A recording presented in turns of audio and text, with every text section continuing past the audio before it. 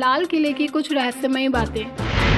हिंदुस्तान के ऐतिहासिक इमारतों में से लाल किला भी एक है। लाल किला दिल्ली में है। अठारह सौ सत्तावन तक मुगल शासन का निवास स्थान था। लाल किले को शाहजहां ने अपने महल के रूप में बनवाया था। यह मुस्लिम प्रतिमानों और इस्लाम के अनुसार इस किले का निर्माण किया गया था। लाल किले में मुस्लिम प्रतिमानों के प्रति क्रिया दिखाई देती है। लाल किले को सलीम किले के साथ ही 2007 में यूनेस्को वर्ल्ड हेरिटेज साइट में शामिल कर लिया गया था। क्या आप जान जानते हैं, लाल किला सफ़ेद रंग का था। जब सफ़ेद पत्थर खराब होने लगे थे, ब्रिटिशों ने इसे लाल रंग दिया था। रेड फोर्ट इसका नाम ब्रिटिशों ने रखा था। इस किले को तब बनवाया गया था, जब शाहजहां ने अपनी राजधानी आगरा को दिल्ली स्थानांतरित किया था। लाल किले का निर्माण शुरुआत 1638 में और इसका निर्माण कार्य 1648 में हुआ था। मतलब इसे बनने में पूरे 10 साल लगे। कोहिनूर हीरा इसका शाहजहां के ताज का ही एक भाग था। इस पर बहुमूल्य धातु लगी हुई थी। उस ताज को पहनकर शाहजहां अपने दीवाने खास में